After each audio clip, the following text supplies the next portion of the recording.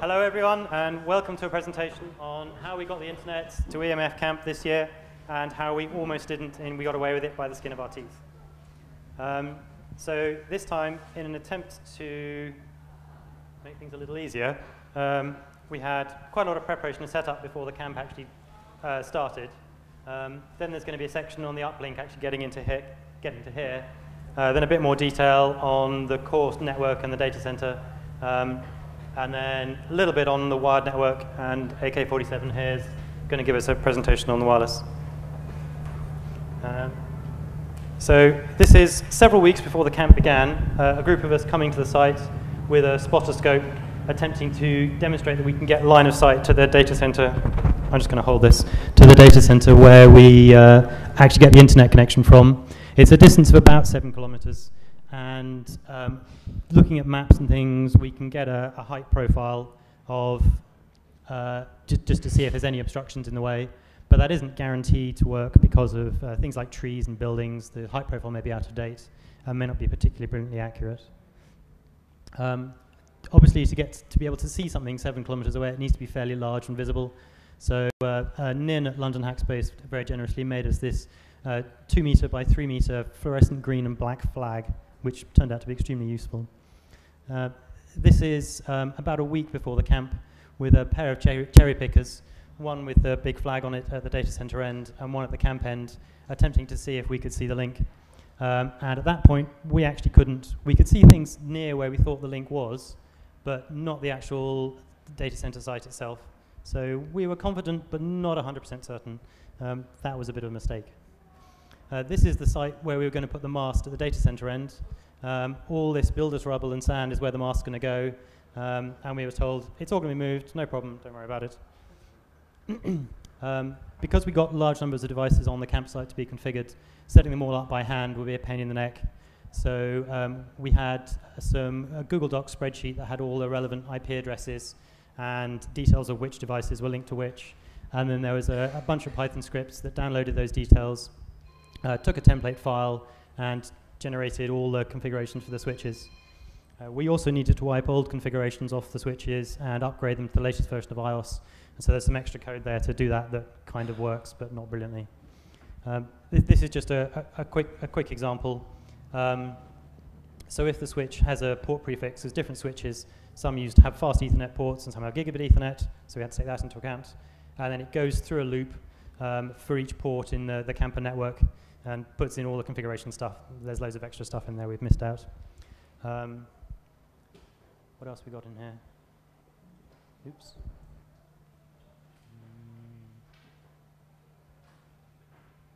Uh, yeah, if, if, anyone knows of any existing scripts to do this kind of thing, um, it would be nice to know what they were, because um, we couldn't find anything, and it seems like the kind of thing that someone else has to have written at some point. Um, because we weren't certain about the, the line of sight link, we decided that rather than having the mast at the camp end right next to the camp, is to put it far up the hill and run fiber up to it um, so that we have more flexibility in positioning it and to try and avoid trees and things in the middle. So come Wednesday, uh, when we're on site for the first time, if I just out tab back to this, uh, we come to the data center. Oh, and there's a network diagram there which you can't read, and a cabling diagram which you can't read either. But anyway, it, it gives you some idea of the complexity. The, the, the, kind of the squares on the edges are the individual Datenklos with the core in the middle. Um, so we found that at the data center, the rubble and sand hadn't been moved, so we couldn't actually put the mast there. Um, we then spent the morning running around all the local car parks and businesses saying, please can we put a 26 meter mast in your car park? Uh, quite surprisingly, most people said no. Um, luckily, we found uh, a garage down the end of this alleyway here where um, they were very friendly and said, yeah, you can shove a mast there. So this is the mast up on Wednesday night with a flag flying on top of it, so that come Thursday, hopefully, we can uh, get a visual line from the camp and get it sorted out. Um, what else have I got in here? Um, there was another plan on Thursday morning uh, called Plan P uh, for prayer, which is to try and relay the signal from the roof of St Mary's Church, Bletchley. Um, when we contacted them, they, they said no, but they said it so nicely, I thought it was worth mentioning on Thursday, we had a 32 meter access platform, which is a, a huge truck. uh, which had difficulty getting up the alley but got up there in the end. And we, we had that for Thursday only. If we couldn't make the link work then, then uh, we wouldn't have internet at all. Uh, back to that one. Uh, th this is the view from the top of the cherry picker towards the camp. I don't know if you've looked up the back of the hill here, but you can see uh, just about on the left here, there are two shorter masts, and they're not visible on this slide, is there's one very tall thin mast, um, which has been put in by the farmer with some anemometers and some data logging, because they're trying to work out whether it's economically viable to put a wind turbine in here. Um, on the left, left here, and you probably can't see it, you can just about see a grey thing at an angle, which is the mast at the camp end, kind of halfway up because it's in the process of being er erected. And below it, there's a kind of greyish, greenish blob, which is a Land Rover driving people up there to sort out the mast. Um, let me see if that works better.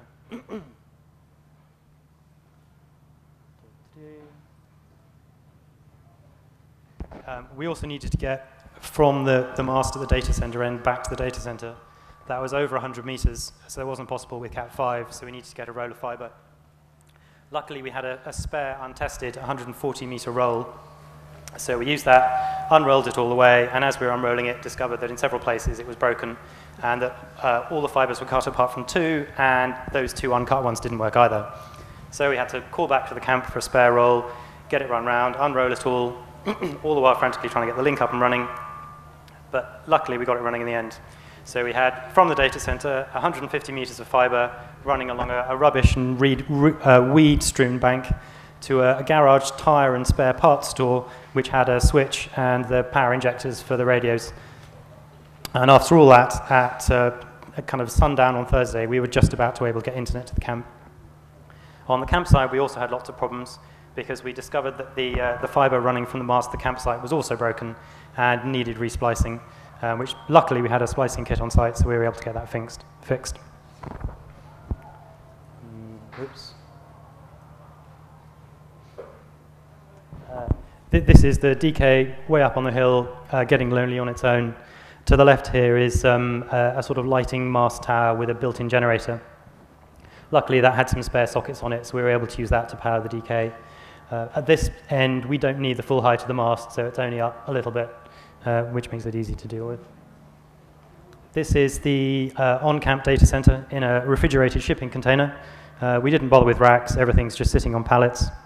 Unfortunately, being refrigerated, um, it's the maximum temperature it, it, could go up to was only 10 degrees C, so it got fairly cold. We had problems with condensation, and we had a, a high-tech solution with a bucket. this is the usual things, core switch, uh, a distribution switch, and the all-important wireless controller some virtual machine servers for the on-camp services, and a big mess of cables. Um, and now we're on to wireless. so yes, wireless. Um, uh, in terms of hardware, we had this year an Aruba 2710 controllers, which uh, can handle up to 512 access points and has uh, 4 times 10G. Uh, we uplinked uh, the uh, wireless LAN controller with 1 times 10G to the um, Cisco 6500 core switch we had over here. Uh, we didn't actually need that 10 gig because we only hit like 300 megabits or so, but yeah, well, if you can uplink it with 10 gig, then you should, right? Um, we had about uh, 50 dual radio 8211 and um, Aruba access points, and then another 10 dual radio 8211 AC access points. Um, the software we were uh, using is uh, FreeRADIUS for most of the uh, 802.1x networks. Then we also had the Aruba Airwave Management Suite, which uh, we used for uh, monitoring and gathering statistics and that kind of stuff. Uh, and we also had uh, graphite running to make some pretty graphs, which we will show later. Uh, in the picture, you can see uh, in the middle the 2710 controller with the uh, 10 gigabit uplink. Uh, on the top here, we have a um, AP275, which is an outdoor access point from from Aruba, with, which has six integrated antennas. Um, so it's not actually a security camera, it is actually an access point, so you might have uh, seen them deployed over the site. And at the bottom, which is an access point, which is actually hanging in this room, which is an AP225, which is a dual radio 802.11ac access point. Um, oh, this might be a bit hard to read, but the, this is the config we've deployed. So we had separate SSIDs for, um, for the EMF camp SSID on 2.4 gigahertz and on 5 gigahertz. Um, most of the networks were uh, encrypted with WPA2 Enterprise 802.1x encryption. We, the authentication was being sent to a FreeRADIUS server. This free, FreeRADIUS server also had a uh, uplink with the um, uh, top server, for, uh, uh, well, the server for SpaceNet and a server for Eduroam. So we were, uh, we were um, next to the EMF camp SSIDs also offering uh, SpaceNet and Eduroam. They are both serving the same cause, so it's a uh, federated authentication. So if you're either a member at a local hackerspace or if you are a student at a university and you got an account at that university or hackerspace, then you can use Eduroam uh, or SpaceNet. So if you already have that configured on your device, then uh, if you head over here to the campsite, you don't have to configure anything anymore on your device. So if you already have something that configured, it will just work. So you don't need to set an anything up. So that's uh, well, pretty good for the ease of use uh, of the uh, of the users. Um, so we are tunneling all of the traffic through the um, Aruba wireless LAN controller. Um, the reason we're doing this is mostly for uh, easier AP deployment because the um, access point just needs to get an IP address in uh, random VLAN so it can build a tunnel back to the controller. Um, and that also means we don't have to, have to stretch any VLANs across the site. Across the site. Um, this also gives us the opportunity to do a lot of uh, uh, broadcast filtering because the uh, Aruba controller has features like an uh, ARP proxy and a neighbor discovery uh, proxy. So and we want to filter broadcast traffic because that is um, usually at this scale is killing for the overall wireless wireless performance. Um, we ran uh, with a four-channel plan on uh, 2.4 gigahertz with 20 megahertz channels, and then with a 19-channel plan on 5 gigahertz. Um, we had about 10 access points uh, dedicated configured for air monitoring. So those access points are doing uh, dedicated background scanning, uh, doing um, rogue detection, and doing uh, intrusion prevention and intrusion detection. So um, I'm not sure if this map is a bit readable, but this map should, sh uh, should show the positions of all of the access points across the field. So uh, each data enclosure had at, uh, an access point and in the this stage 10, multiple access points are deployed. So we uh, over here we have five access points with uh, one access point configured as a air monitor. Uh, the reason we are placing more access points in a stage like this is uh, mainly for capacity because um, this stage is, well, it could fit like 300 people or something. So we need more uh, access points to uh, serve that kind of capacity. So uh, in this photo, you'll see um, the inside of a Datenklo with on the bottom uh, the Cisco switch, which is uh, in most cases also can do uh, power over Ethernet. And on the top, we have a Aruba AP134. on the right, we have a AP275, which is placed on this C field. So you might have seen it. We deployed that yesterday because we had some problems with coverage on 5 gig over there. So statistics. Um, we had, um, well, the number we, I got this from was uh, about two hours back. Uh, we had 200, uh, 2012 unique uh, MAC addresses seen. We had a peak of uh, 1,090 concurrent associations. 75% uh, of the clients are smart devices, either smartphone or like a tablet. 50% uh, of that is Android, 25% is Apple iOS. And then a way lower number are the uh, laptops, like 7% on Linux, 7% on macOS, and 3% on Windows.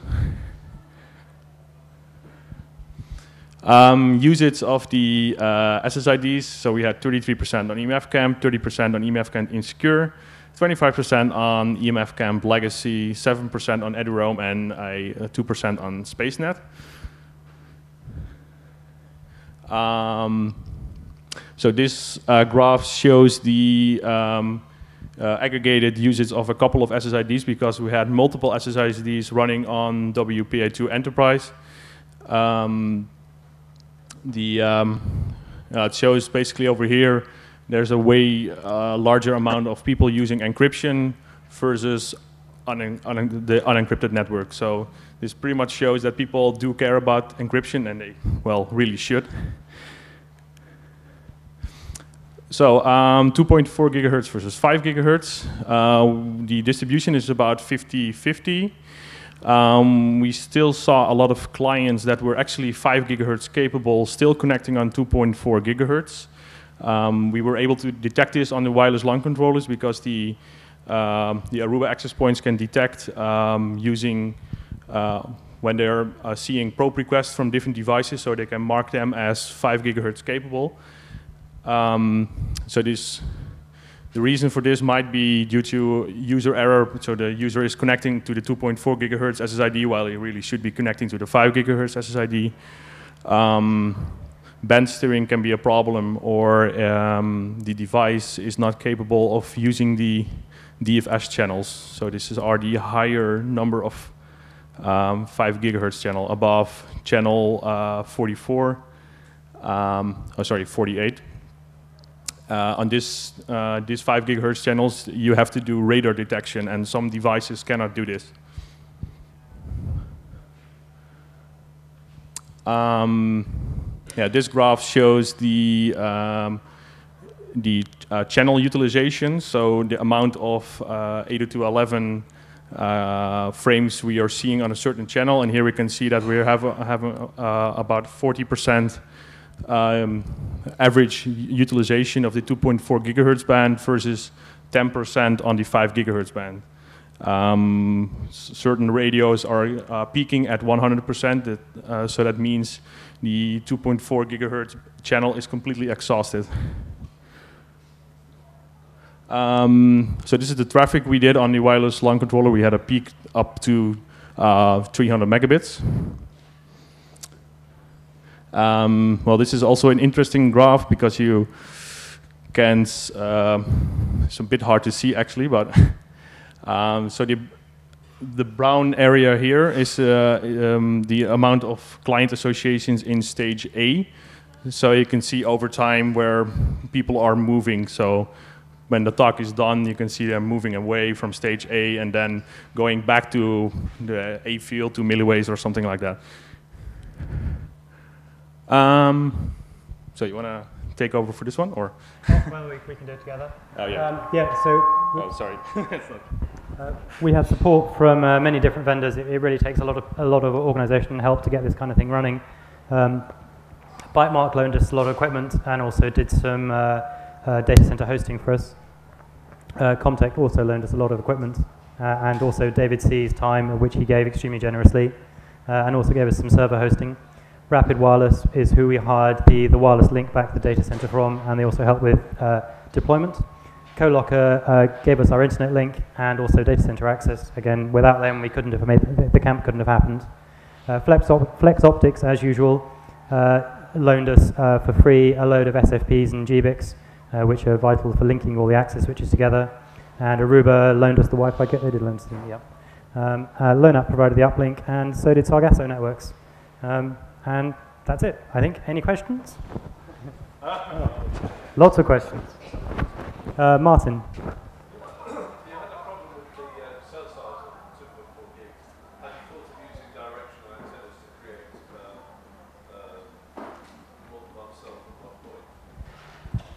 Yeah, so in this case, we're getting a lot of uh, sponsored access points, so we need to um, do with what we have. So all of these access points have omnidirectional antennas, so it, I would definitely agree it's better to use directional antennas, but we simply don't have them available. So we need to, um, yeah, make make the best of it. Yeah. Yeah. Exactly. Yeah.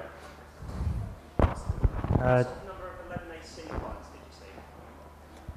Um, pretty low actually, but we don't have that many AC access points deployed, so it's hard to detect. But um, I would say it's about uh, well, I think we saw about 50 of them. So you have you mostly are smartphones on the Wi-Fi network. So there are the Galaxy S4, which uh, which are, is 11 AC capable. So it's mostly that kind of devices we we saw, but. Uh, in the, in the next coming years, we're going to see a lot of AC clients. So that is actually good news. That that means a lot of more 5 gig usage. So we can finally throw away this crappy 2.4 gig band and move to 5 gig completely. But yeah.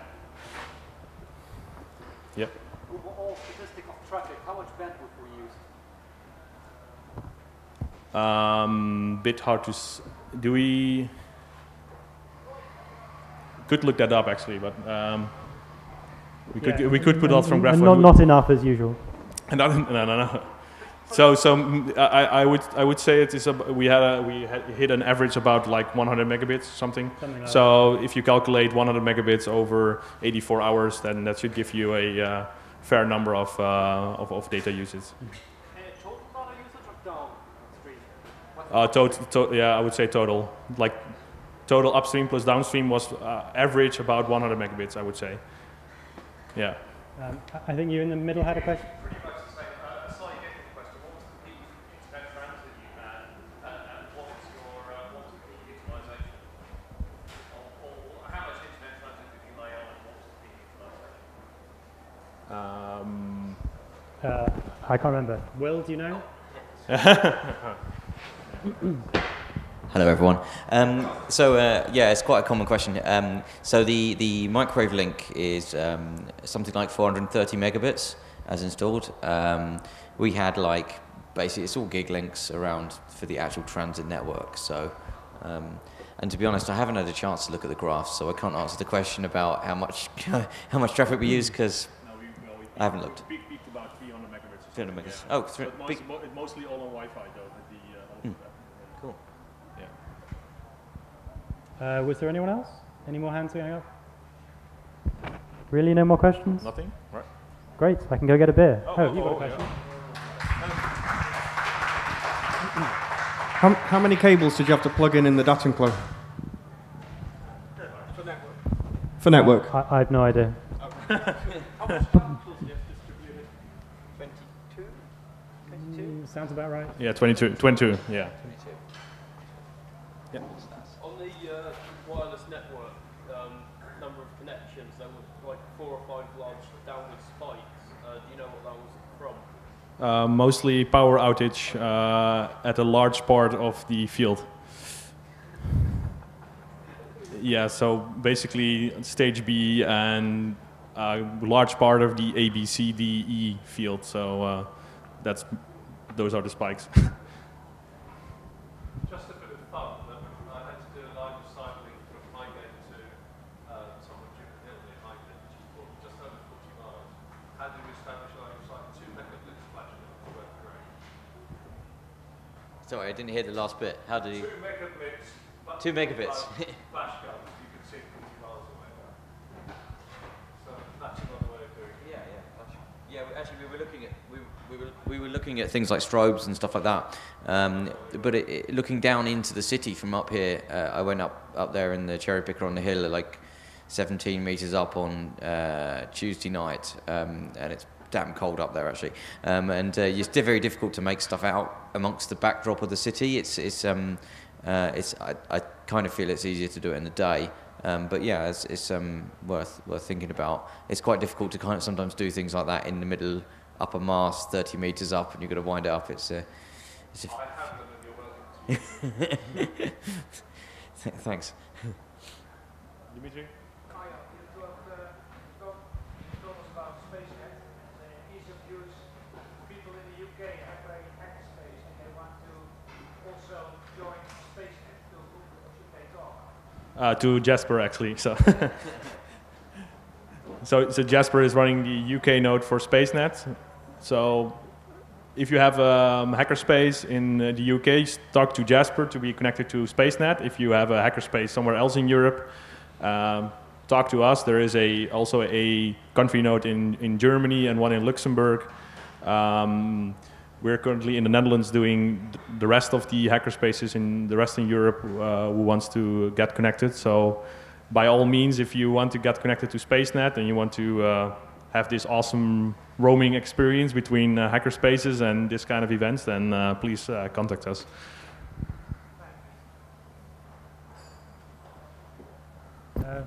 Okay, thank you everyone.